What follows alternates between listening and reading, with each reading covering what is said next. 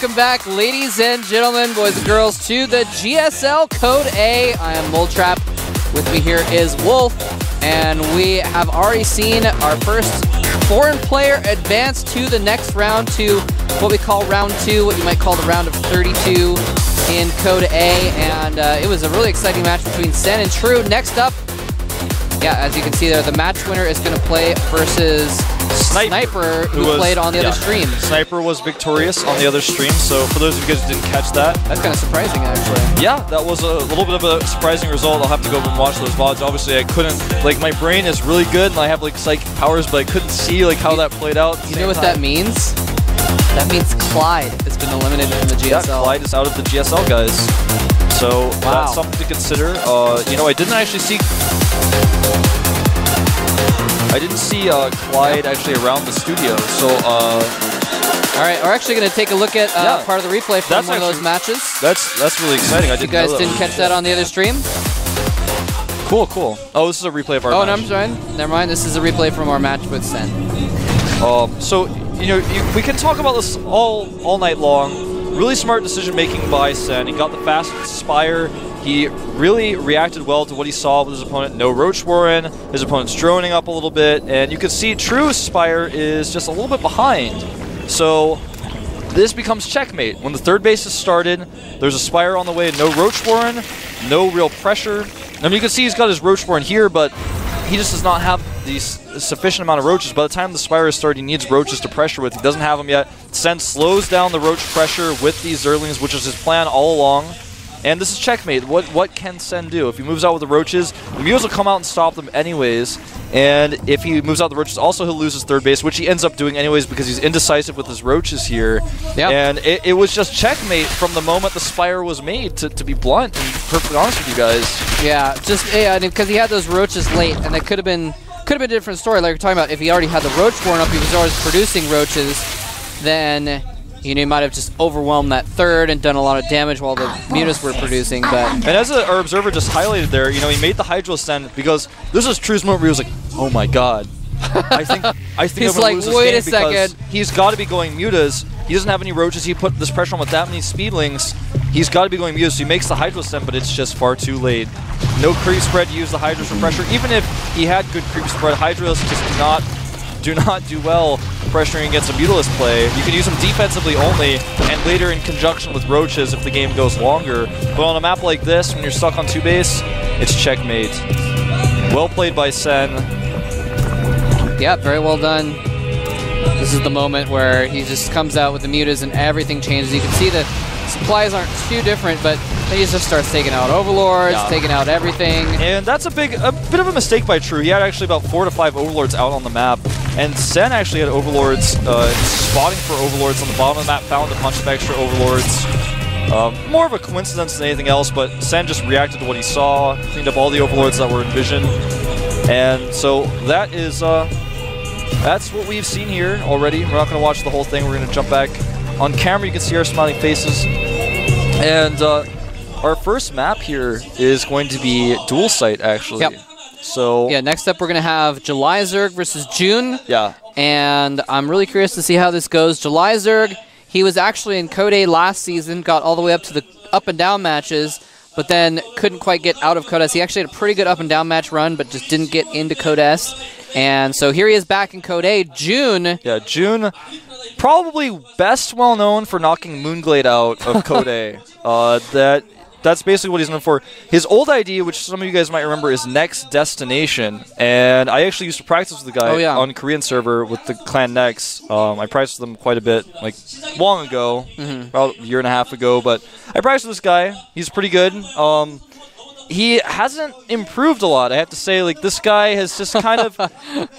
he's been around. Yeah. And he's never really had his time in the spotlight. And basically, here, he may knock July Zerg out of the GSL, he may end July's career if he executes his builds correctly today. Yeah. Only time will tell. I think July Zerg is definitely the favorite here, but it's all going to depend on how July Zerg executes things. He has a tendency to be very unpredictable, and yeah. July, you just do not know. Uh, yeah, we're uh, we're gonna see June here, and we'll see what he has in store. But you know, I, you know, he just played in the team league the other day, and I was, was talking about on the team league that, you know, I was like, oh well, this guy Vines, like he just has the horrible record. Actually, people were like saying that I was like too hard on him, but he's, he's like three and twenty, man. Like, Yeah, how can you not be hard on someone with a record like that? And Vines was able to beat June still. Like, and I remember June being, I think he was the guy that like Hey. double all in bomber like four remember- seasons ago and failed. Do you remember uh, So- Vines wins, man?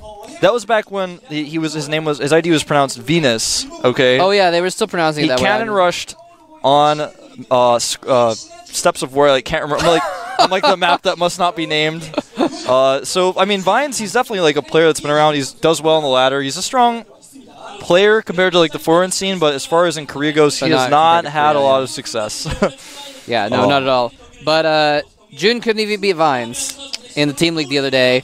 So Well- this is a different matchup though. Con- yeah, consider that he's been preparing mostly for this matchup. That's he's true. known about this for a long time. The bracket's been out for a while.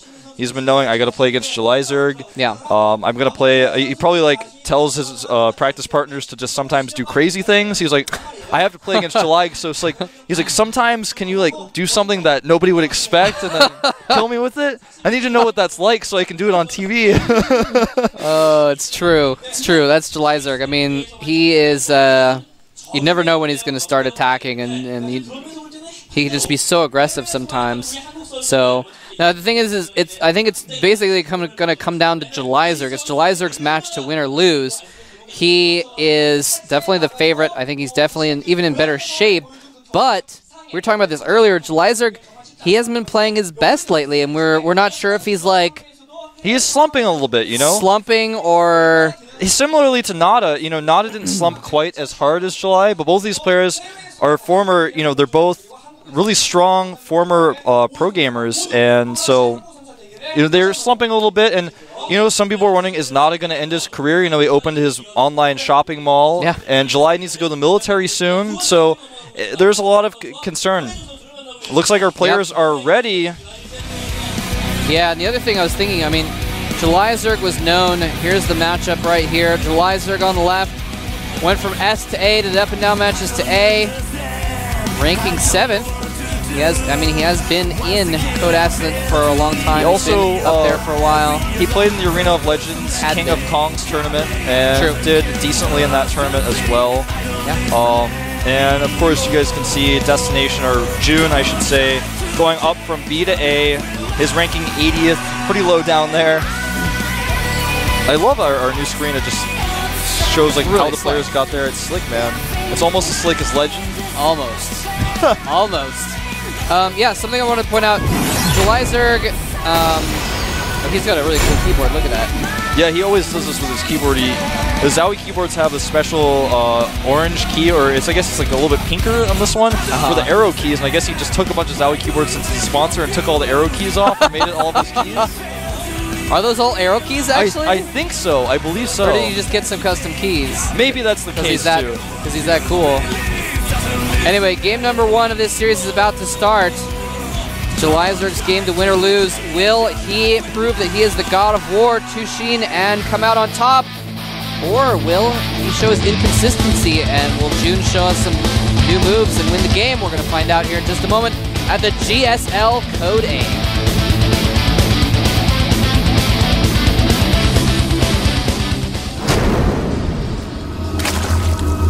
Over here at the left side of the map is the month, which was the last time we saw June in the GSL.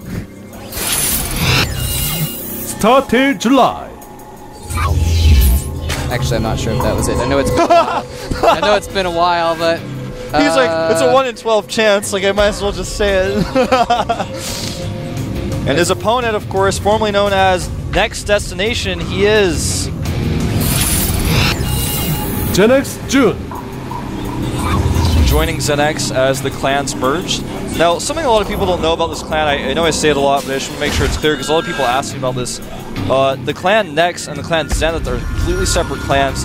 The team is a culmination of the best players from both clans who are able to join the team. And for example, June, aka Destination, is still on the Nex clan, but he's also a part of the team. And there are other players like Core, who is part of ZeNEX, but was also part of the clan Zenith. So he's in both the clan Nex and in the team ZeNEX. I see. Actually, I just looked up. It was actually last April. Oh, wow. Last April that June was in uh, Code A, beat, got beaten by Bomber. That was when Bomber won Code A, actually, I think. Um, anyway, yeah, heavily favored. A lot of the fans, 85% of the fans think that July Zerg is going to win. So, And rightly so. I, I rightly think so. As far as results go, as far as experience goes, everyone's hearts are probably thinking, yeah, I probably July will do this, but it's all up to July, man, to, Yeah. to win or lose here. Now, July Zerg, he was known in Brood War as being basically one of the fastest programmers there was. He had he had an APM of over 400, Brood War APM regularly. In fact, there was there's a graphic that still goes around sometimes that showed like they used to show like the peak APM, and there was apparently a moment in one game where July Zerg got up to 800 APM in a game. That's how freaking fast he was. It was ridiculous. And I watched him play his Code S games, and he was like just, you know, seemed like he was just taking it casually, hanging around like 200 APM, which is really fast for normal human beings, but for July Zerg, that means he didn't care.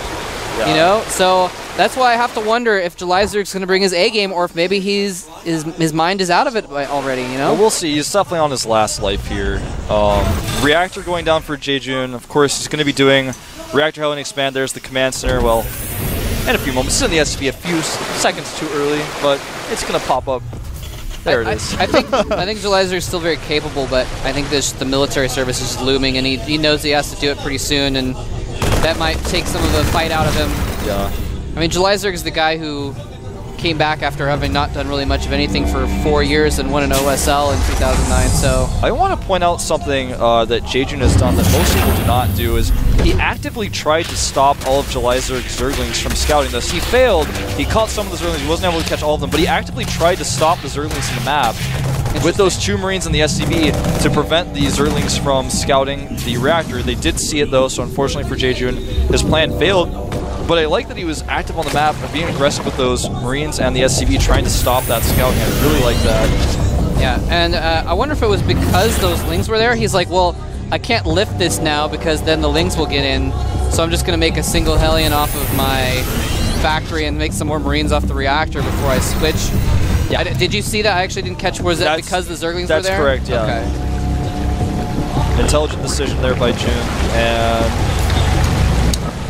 looks like he's just scout a little bit, sees the spine going up, pulls back. Stim, of course, started immediately as the tech lab has been placed on the barracks, and we're gonna see actually another reactor made by June as he starts the second or third barracks rather on his reactor. So he's got a very special build planned here. Yeah, I, this is interesting.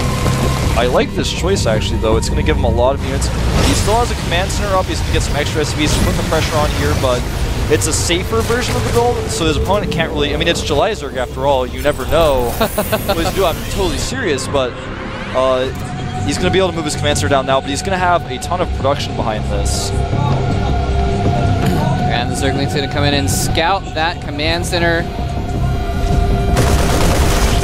Dies, but actually does stop that from landing for just a moment extra. And a very quick layer on the way for July here. About a third of the way done. He's already got his gas being taken out the natural. And it looks like we're just going to have double reactor barracks with, of course, the Oh, stim wow. continuing here. And June getting a third reactor for a starport. He's just going very uh, Marine King Prime type style Marine medevac with stim. That that factory has just become the add-on lackey. It's made it made a, a reactor for one of the barracks, and now it's making a reactor for the starport. And with the three Hellions that he's made, he's kept July Zerg guessing. July hasn't really been able to scout what's going on. He has no idea. He knows that there's no longer reactor Hellions coming out, but he doesn't know what. He doesn't know how many barracks. He's going to have to be aggressive here or do something to try to scout. Of course, the Spire is on the way as Baneling Nest is finished. That Baneling Nest is going to be key and helping hold off these pushes that are going to come out. Both JJun having Stim and a very healthy Marine count very soon. It's going to be hard for July. He's going to want Baneling's speed to help defend, and he doesn't have that yet. Yeah, and these Hellions out on the map, just being a nuisance. Again, scouting with the Zergling. Yeah, I like that. that is the first glimpse that July gets of that massive Marine force. Yeah. He didn't know exactly what was going on. He, he's got a spine crawler because he's like, well, maybe it's Hellions. I need to be careful about Hellions. He's getting Banelings out as well. Of course, Banelings are going to be nice against the Marines as well. Maybe wise morphing those, but And here's the here's the decision that July's gonna have to make. You, he's he's reluctant to get Baneling speed right now because he wants to save his gas for the Spire. The Spire's gonna finish. He's already got 650 gas right now. Probably gonna try to make about eight or nine mutas when that pops. He's gonna have that extra gas there, but he does not have Baneling speed. And if June decides to do a big push, which he's being very reluctant on right now, it, it's uh, it's gonna be hard for him to hold without Baneling speed. And here he goes. He's moving out. And uh, the reactor has been remade again on the factory now, so he's going to even rally Hellions in with this by the looks of things. wow. And he's actually, he's just getting combat shields. And 1-1, he does not have stim yet. He I- does have stim. Oh, he does have stim. Never mind. Okay. Yeah, he got I was stim like, pretty does quick. he? Notice July has a really good creep spread though. It's going to really help him with this.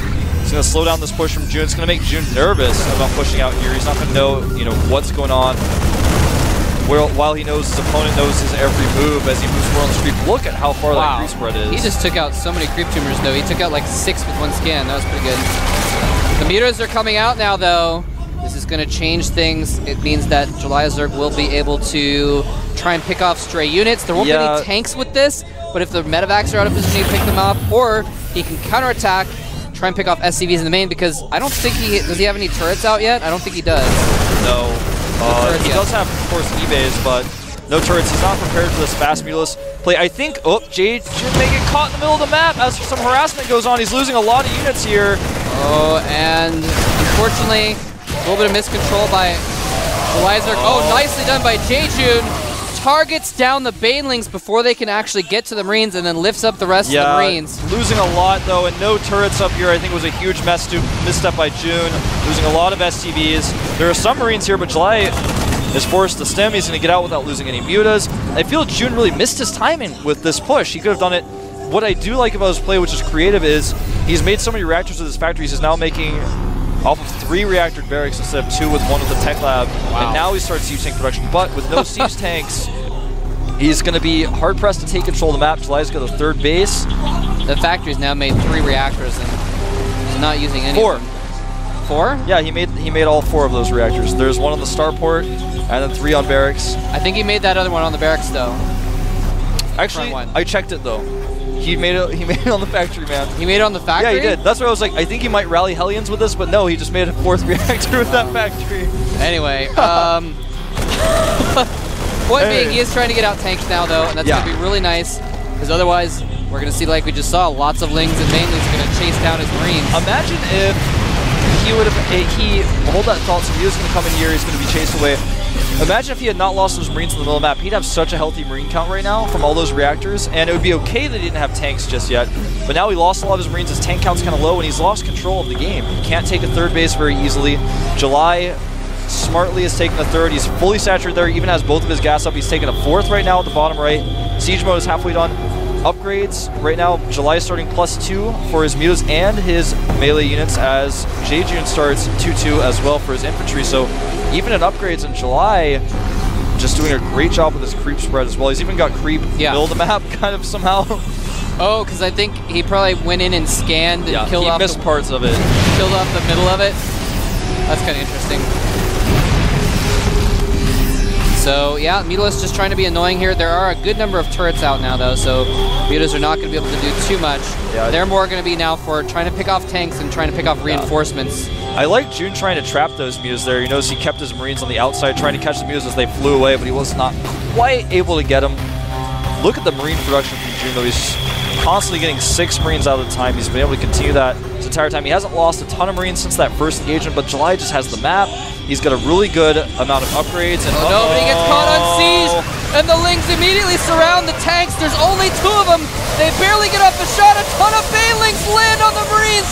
Horrible splitting from June, and his entire army gets obliterated. And A July has just basically taken complete Yeah. control of the rest of this game. There's nothing June can do. Great decision making by July to go for that engagement. There was no room to split the Marines, and this is going to be the end of the game, I think, Moletrap. Yep. Banelings rolling through, completely destroying everything in the middle line. The Mutalisks don't even care about the Marines with medevacs. There's so many of them. The tank's gonna go down. Lings in the main force the GG, from June, and I think we did see uh, June just basically get outclassed. He made that one. His timing for that Marine push seemed good, but he waited too long. He didn't go, you know. And then July's creep spread was too too strong. He just had barely enough banelings out. He saved his resources for mutas, and that's the key with that push. You always, as a Terran, you want to push as the Spire's finishing Yeah. to make the Zerg go, whoa, do I make banelings or mutas? And that push is not meant to kill someone, but it's meant to keep the mutalisk count low.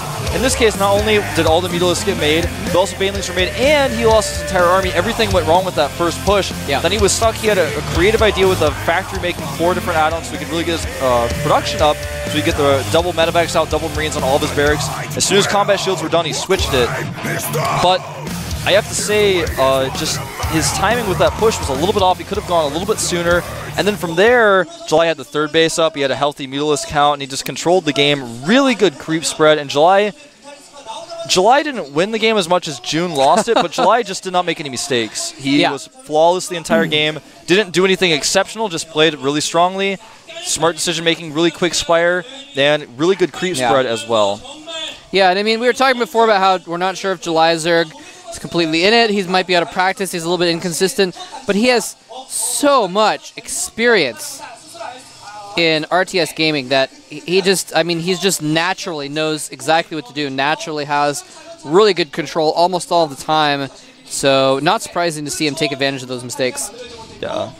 Well, um, our next map is going to be Crossfire. So Will it really this time? yeah, it really will be this time. I can see it. Um, it's map number 142,567.